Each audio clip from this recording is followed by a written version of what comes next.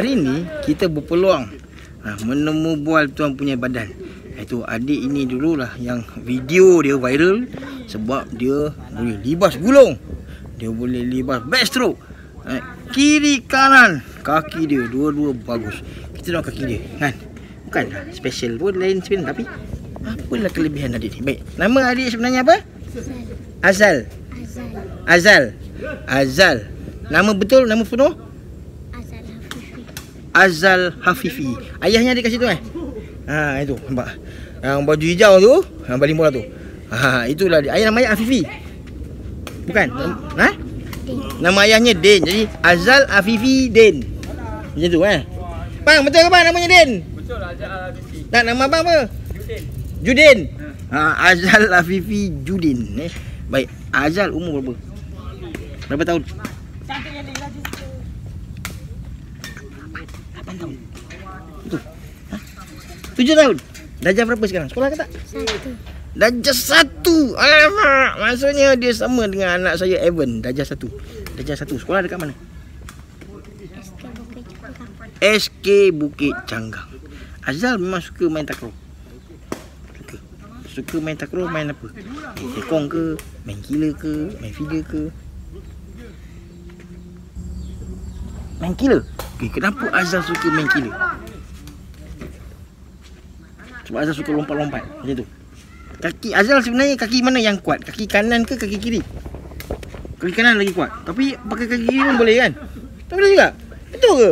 Ah, Itu hari Uncle Pakcik tengok boleh je macam tu. Okey. Azal kenal tak siapa-siapa yang main sepak takraw? Yang terkenal, yang hebat. Tak ada, tak tahu siapa. Jadi Azal belajar main takraw daripada siapa? Siapa ajar? Ayah. ayah dia. Maksudnya ayahnya tu tu uh, saudara Judin kita tu adalah idola dia. Nampak tak? Maksudnya walaupun ayah dia bukanlah pemain negara sekalipun eh tapi sebab ayah dia menyemai benih yang bagus anaknya berbakat. Okey, Azal nanti nak wakil sekolah tak? Nak main untuk sekolah tak? Nak main untuk sekolah. Nak. Nanti Azal nak uh, wakil Malaysia tak? Nak. Azal kasut main kasut main takraw ada kasut tak? Ada. Azal pakai kasut apa? Tahu. Dia pun tak tahu kasut apa dia pakai. Macam mana dia keluar ni? Ah. Nanti kejap lagi Boleh tak Azal tunjuk Macam mana Azal lipat sifat bola Boleh? Boleh ya? Okey Kita akan rakam sebentar nanti Kita tengok apa jadi Inilah antara bintang yang bakal menyinar Azal Afifi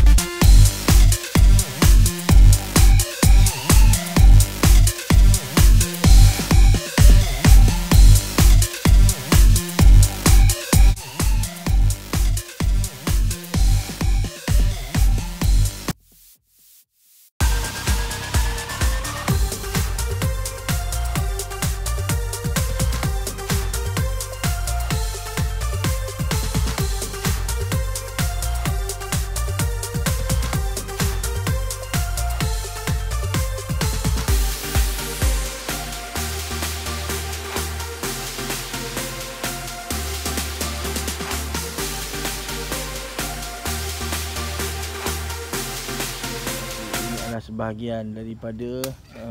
Woi drop macam tu matilah orang.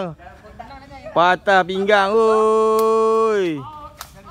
Nampaknya kita dah boleh mengagak siapakah punca kecederaan di gelanggang ini. Eh. Patutlah ramai yang balik mengadu sakit pinggang. Rupanya ada tekong macam ni.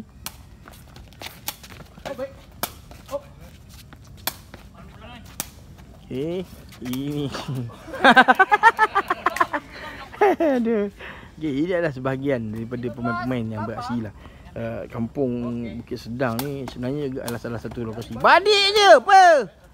Satu, salah satu lokasi uh, jadi tumpuan uh, sebab kot satu kampung lagi tadi uh, apa nama saya dah lupa uh, ada masalah tiang tapi dalam proses katanya dalam. Dalam rakaman ada. Tak saya boleh tengok eh? Okey, yang mana uh, kita tengok? Oh, ada. Out. Rakaman ada. Jangan pertikaikan. Ada Yang baju biru tu uh, Keluar tu keluar Ada rakaman dia Rakaman dia Rakaman dia Eh. uh, Orang Melayu Yang berada ujung tu Barang tegap ni ha, Itu daripada Lombok Maksudnya di sini ada Macam-macam lah uh, Orang yang ada Bukan hanya sekadar uh, Orang asli uh, Rezeki hari ni Kita tengok cuaca pun bagus eh. uh, Ni apa sebenarnya Sekolah ke apa? Dewan. Pakai lagi? Tak pakai dah? Pakai. Pakai? Oh Keluar kalau mengamuk. Eh ni UPM pernah datang sini punya eh tempat tu. Okey. Sayang kat sini semua tak ada lampu lah. Kalau ada lampu saya rasa lagi meriah ni. Aduh, mana yang gulungnya? Tolong ni simpan. Gulung sana yang baju biru. 12 17. Tudu yang baik nampaknya tetapi Huh, masih dalam permainan. Masihkah keluar gelanggang?